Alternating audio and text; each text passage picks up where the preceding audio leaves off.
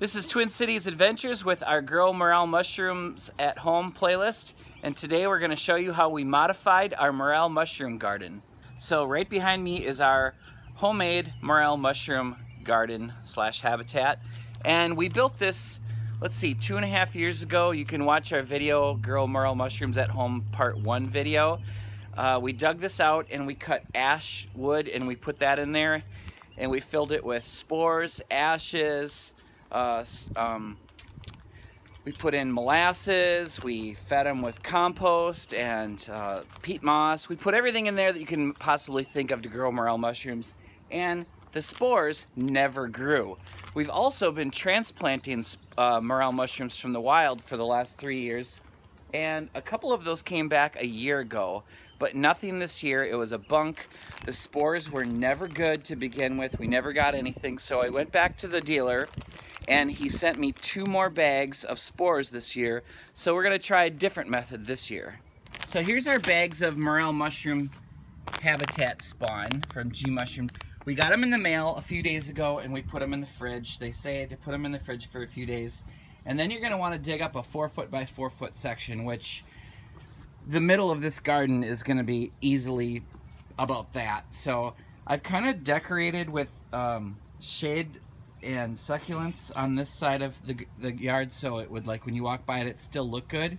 But we're gonna kind of uh, open up the center here and we're gonna dig out about six inches all around this area here and we're gonna put these fresh morel spores in there.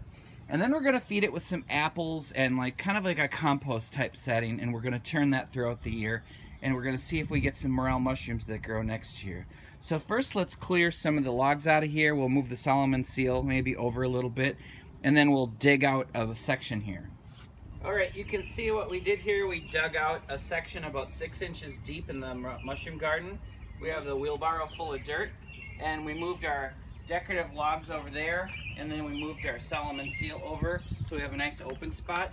And I dug down pretty much to the, the old rotting logs that are in there. Mm -hmm. So I'm gonna take the hose and just spray that down. Get that nice and wet. Get those logs nice and wet under there.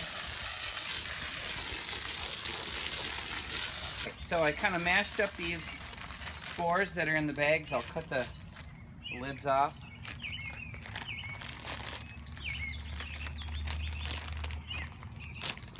Okay, now I'm gonna sprinkle these all throughout this area.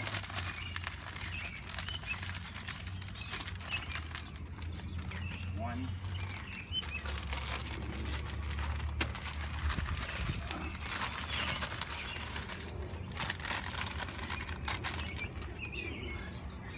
Just mix that up a little bit.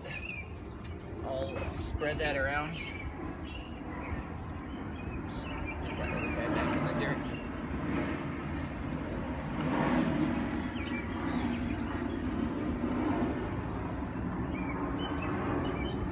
All right, now what we're gonna do is we're gonna feed these with some composting materials. Okay, so we're back in our orchard and we're gonna pick any apples or plums that fell on the ground, like there's a couple here and here.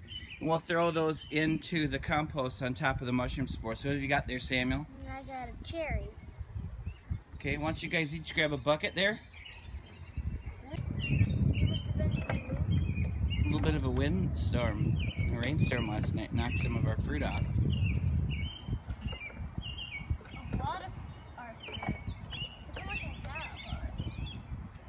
And let's grab a couple rhubarb stalks.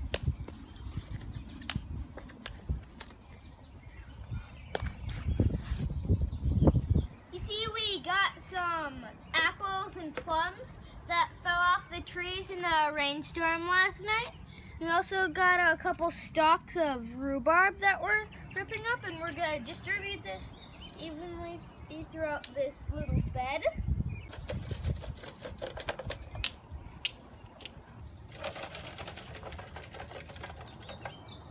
Here's some old oranges on our bird feeders. I'll get them.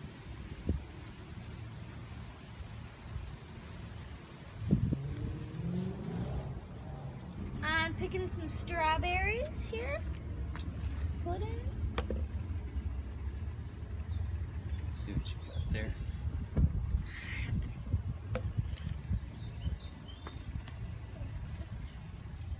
icky one. Here's some watermelon rinds and some orange, orange halves.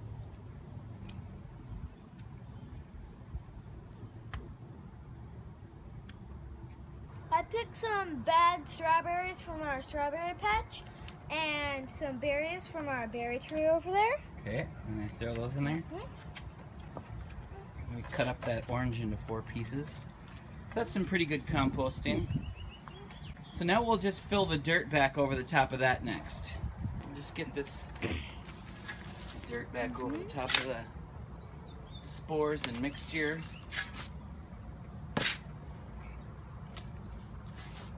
We got our dirt back on here and put the decorative logs on again. Just find a spot for them.